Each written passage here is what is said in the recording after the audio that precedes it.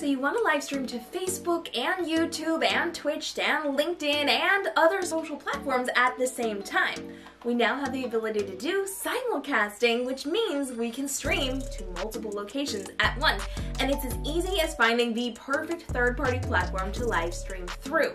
Now, there are a couple of different options, and I recommend Restream or BeLive. I will have full tutorials on these down below so you can decide which is going to be the best platform for you, but let me show you how to do it inside of the system.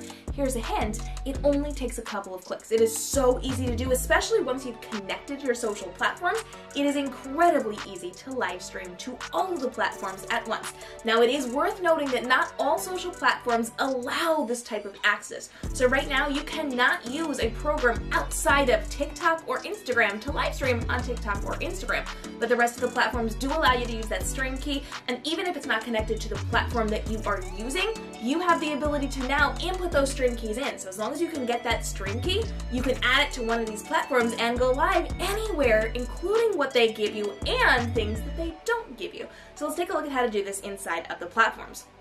Now the first one we're going to look at is BeLive, and BeLive is fantastic because all you have to do is click on Set Destination. It is so easy and they give you all the options here. So these are the ones that you have options to use inside of BeLive. You can use YouTube, Facebook, LinkedIn, or you can add in that custom stream key. They also let you record offline, which is amazing, and you can test your broadcast.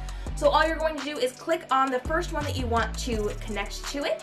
And if this is not the one that you want, all you have to do is click on that. You can sign out and sign into a different YouTube account. So you do not have to only use one.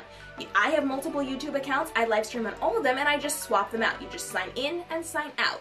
Now once you have linked up the first one that you want, you're just to click on the little plus button and then you're to be able to link up whatever other accounts you're going to want to use. So you can live stream on Facebook on your timeline, on pages that you own, or in groups that you own and you will be good to go for that. So I'm just to click on that one.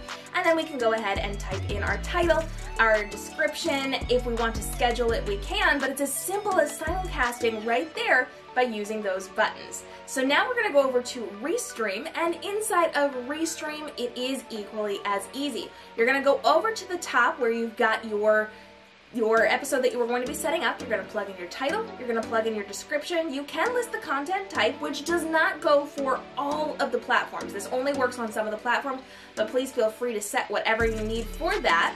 And then you're going to click the next button. Once you click the next button, you have all of the destinations that you've already connected to your platform, or you can add that destination. All you have to do is toggle it on and off. You have the ability to toggle them all off and then just add in what you need to and you then have the ability to add in other destinations as well. You have a lot of options from Twitch to Periscope to LinkedIn uh, to some of the lesser known ones and of course you can add in that custom stream key as well so that you're ready to go with that.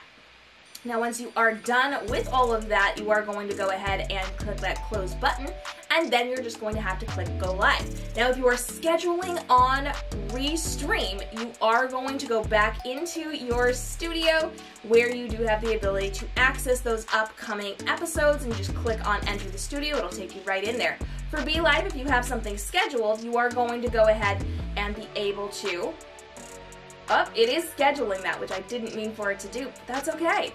We're gonna go ahead and we are going to schedule that right there, and then it would be right in that, and you'll be good to go. Now remember, simulcasting is meant to be able to deliver content to your different viewers in the way that they want to have access to you.